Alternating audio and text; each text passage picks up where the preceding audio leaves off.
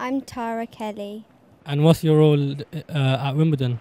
I'm a centre on court, so I'm the one by the net. So, firstly, just tell us a bit about how you got into the role that you do currently. Originally, I tried out through school, and we had lots of trials there. And they sent about 10 of us to Wimbledon, where we did another big trial. And then I had uh, more cuts and trials along the way at training every week.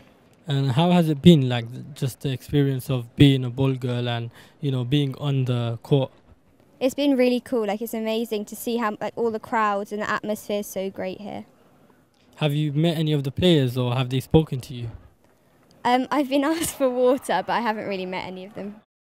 Have you got any advice for other people who think it's quite cool to be a ball girl and who wanna be who wanna do this kind of thing?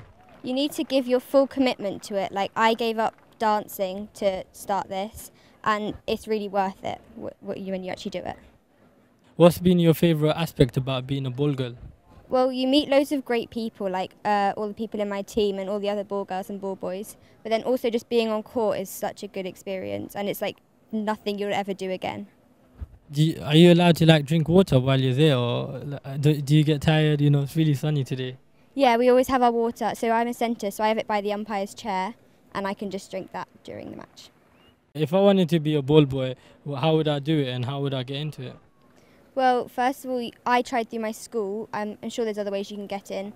And then at training, you just need to try your hardest the full time. And I practiced every break and lunchtime at school um, in order so my, my rolls and my feeding were all the best that they could be. And how is the training process? How long is it and how many people are in it? Uh, we have it two hours every week. And it's very hard, but if you like practice and you train enough, then it's not too difficult.